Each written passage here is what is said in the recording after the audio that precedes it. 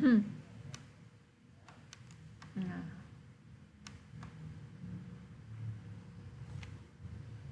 Oke. Oke, bisa ya Mas untuk anak bagel. Jadi eh, konsepnya adalah tinggal kita pilih bentuk tulangannya, lalu tinggal kita atur ya tadi placement orientationnya paralel atau tegak lurus sama work plan kita.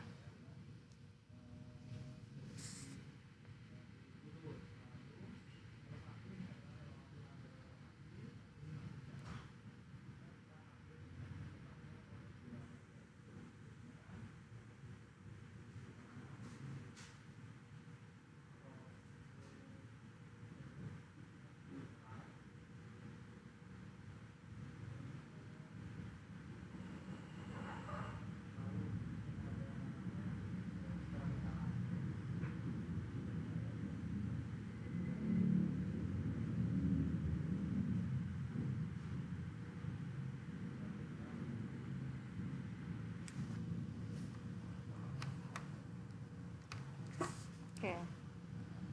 Hmm, nah selanjutnya sekarang kita mau coba lihat nih mas di 3D view tulangan yang sudah kita modelin hasilnya kayak gimana gitu ya.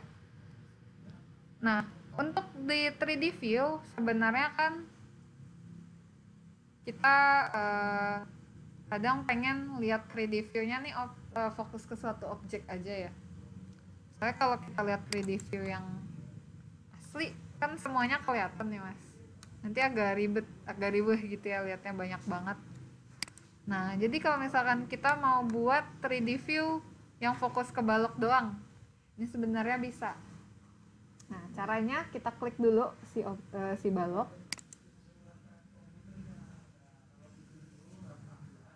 Nah kalau baloknya sudah diklik setelah itu kita pilih aja ya tuh section box. Ada namanya selection box. Atau bisa ketik shortcutnya BX jadi fungsinya ini untuk eh, membuat 3D view yang fokus ke objek yang lagi kita pilih. Nah kita klik ya selection box. Nanti di 3D view langsung fokus ke baloknya. Seperti ini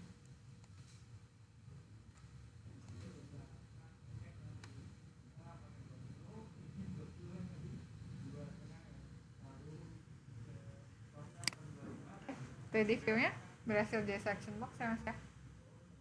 Nah, untuk eh, tulangan yang kita buat di 3D view nggak otomatis terlihat ya mas. Bisa dilihat di sini tulangan kita nggak kelihatan nih.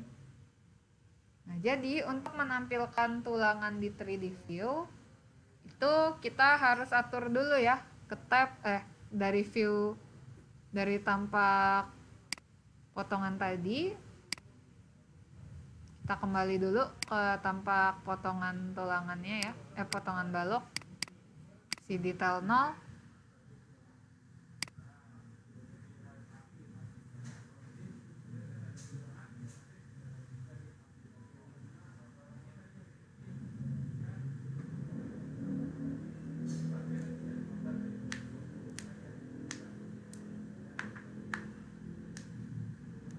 ya Em, nah dari sini kita akan setting supaya si tulangannya kelihatan di 3D view.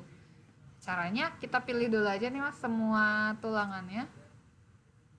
Dari sini bisa dengan cara di blok ya. Blok aja dari kiri ke kanan sehingga kepilih tulangannya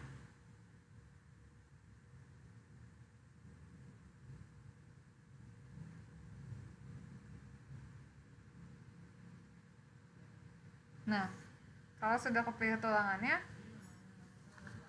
oh ya, kalau misalkan kepilih objek lain, mas, bisa difilter dulu ya. Coba di masuk dulu ke tool filter, dicek. Kalau misalkan ada yang lain kepilih selain rebar, selain structural rebar, structural rebar, di uncheck aja ya. Sudah tinggal klik OK. Nah, sehingga yang kepilih hanya ribarnya nih. Kalau tulangan sudah kepilih, Nah, untuk uh, atur tampilannya di 3D view, dari kotak properties kita cari yang namanya view visibility eh sebentar kita scroll dulu uh, nah ini ada view visibility states nah ini kita edit ya mas ya. View visibility states. Ketemu view visibility state ya. Diedit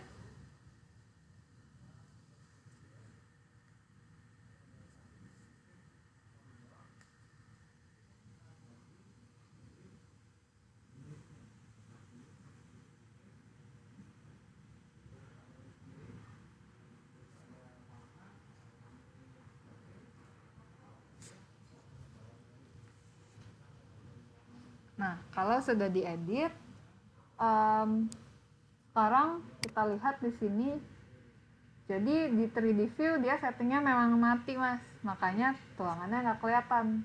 Nah, untuk menampilkan si tulangan di 3D view berarti di sini kita centang aja ya view unobscured dan view as solidnya.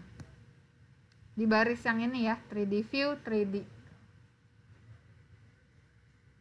jadi view name-nya 3D nah ini kita centang view unobscured dan view as solid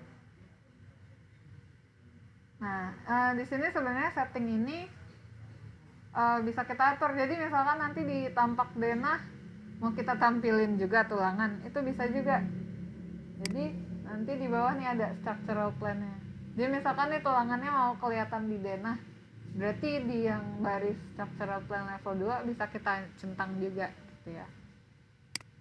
Nah, tapi kalau hanya mau memunculkan di 3D view kita centang aja 3D, yang di 3D view unobscured dan view solid. Kalau sudah tinggal klik OK nah habis itu kita coba buka 3D view ya. Nah nanti kelihatan tulangannya di sini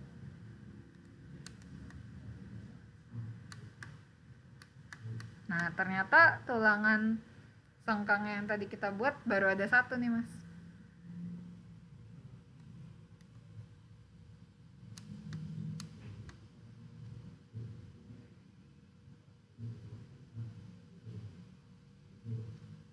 Oh ya, untuk tampilan tulangannya ini kan masih berupa garis ya. Kalau mau lihat ketebalannya, detail levelnya kita coba ubah jadi fine ya nanti jadi seperti ini. Jadi kayak lebih real. Bahkan kalau kita ganti visual style jadi realistik kelihatan ya kayak karatan gitu tampilannya. Seperti ini